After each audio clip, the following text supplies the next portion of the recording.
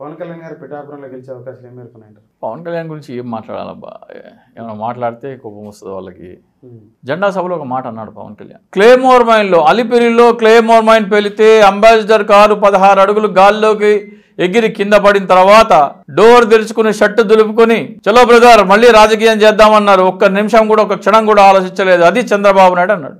అరే మరి మీ అన్న పార్టీ ఎందుకు పెట్టాడు నువ్వెందుకు పార్టీ పెట్టు విజనరీ క్లేమోర్ మైల్లో తట్టుకుని కూడా రాజకీయ ఒక్క నిమిషం కూడా ఆలోచించకుండా షట్టు దులిపేసుకొని రాజకీయాలు చేస్తాడు. హైదరాబాద్ నిర్మించినాడు.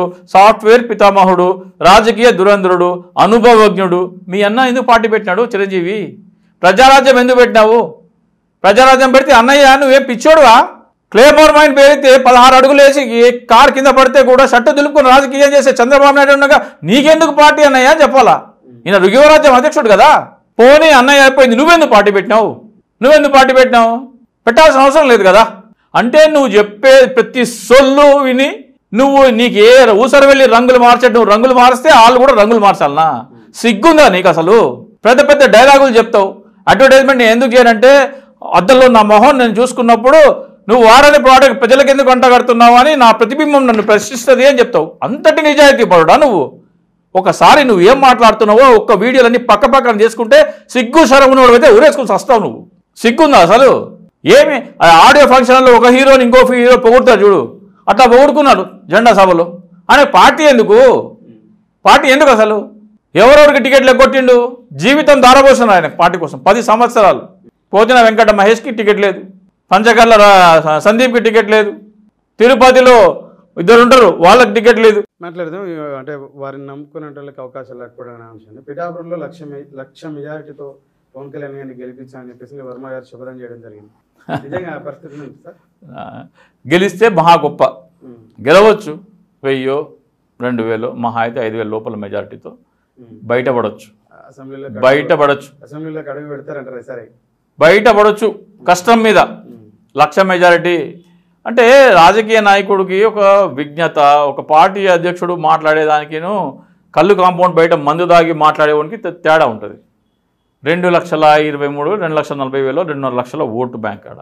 ఎయిటీ పర్సెంట్ ఓటింగ్ అయితే రెండు లక్షల పోలింగ్ అవుతుంది రెండు లక్షల పోలింగ్ అయితే నీకు లక్ష మెజారిటీ రావాలంటే మిగతా కూడా ఎంత ఎంత? మనకి యాభై వేలు వస్తే నీకు లక్ష యాభై వేలు. నీ అపోనెంట్కి యాభై వేలు వస్తే నీకు లక్ష యాభై వేలు వస్తే నీకు అప్పుడు లక్ష మెజారిటీ వస్తుంది. అంత హీనంగా కనపడుతుందా. వంగా గీత.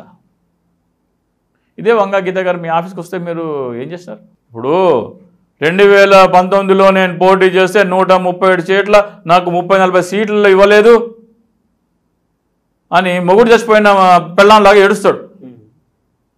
ఎట్లా ఉంటుందంటే నేను ఐఏఎస్ అవుదాం అనుకున్న ఇంటర్మీడియట్ పరీక్షలు రాసిన ఎగ్జామినర్ నన్ను పాస్ చేసుకోలేకపోయినాడు. ఎగ్జామినర్ నన్ను పాస్ చేసుకుని ఉంటే నేను ఒక ఐఏఎస్ అయ్యి ఆయనకి ఆయనకి ఇచ్చేటోడిని అన్నట్టుంది. నేను ఎగ్జామ్ సరిగా ఏడవక చాతగాక చదవక ఫెయిల్ అయినా అని చెప్పుకోవట్లేదు. ఎగ్జామినర్ నన్ను పాస్ చేసుకోలేకపోయినాడు. ఉమ్, నన్ను పాస్ చేసుకునే అదృష్టం కూడా లేకపోయింది పాపం ఎగ్జామినర్కి అని. ముప్పై నలభై సీట్లు ఇవ్వడానికి నువ్వు ఎక్కడున్నావు? టూ థౌజండ్ ఫోర్టీన్ నుంచి టూ థౌజండ్ ఎయిటీన్ ఆవిర్భావ సభ వరకు నువ్వు ఎక్కడున్నావు? పత్తాకి లేవు. వచ్చి ఏడాది ముందర? రేపు పొద్దున బీఫామ్ రేపు పొద్దున నామినేషన్ లాస్ట్ డే అంటే ఈ రోజు కూడా బీఫామ్ ఎవరికి ఇస్తున్నాడో తెలియదు వాడు బీఫామ్ తీసుకొని పోయి ఫైల్ వేసి ఎప్పుడు ప్రచారం చేసుకోవాలా ఎప్పుడు గెలవాలా? నువ్వు పోయినసారి ఓట్లు చీల్చడానికి పో పెట్టినావు. వెంకట మహేష్ చేయవరు చేయరు చేయరు. ఎందుకంటే ఇది నయవంచన. నువ్వు ఇష్టం వచ్చినట్టు నీ పల్టీలు కొడితే నీ నీతో పాటు వాళ్ళు కూడా పల్టీ కొట్టాలంటే కొంచెం సిగ్గు శరము చీము నెత్తురున్నాడు కొట్టాడు పల్టీ. మొన్న ఎన్నికల్లోనేమో చంద్రబాబు నాయుడిని భూస్థాపితం చేస్తా తెలుగుదేశం ఉందని ఈ రోజున క్లెయిమోర్ మైన్ వెళ్తే పదహారు అడుగుల కారెగిరి పడితే చొక్కా తలుపుకొని రాజకీయం చేసే రాజకీయ దురంధరం అంటే నీ అంత నిస్సిగ్గుగా నిర్లజ్జగా బేషరంగా సిగ్గు శరం లేకుండా రౌషం పోషం లేకుండా ప్రతి ఒక్కడు అట్లా పల్టీ కొట్టలేడు. నీకు ఏమి ఇస్తున్నాడో చంద్రబాబు నాయుడు ఏమో మీకు ఆయనకే తెలుసు కానీ నీ అంత సిగ్గు లేకుండా అందరూ పల్టీ కొట్టలేరు. నీకు వ్యక్తి పూజ మానసిక రోగి అయితే తప్ప.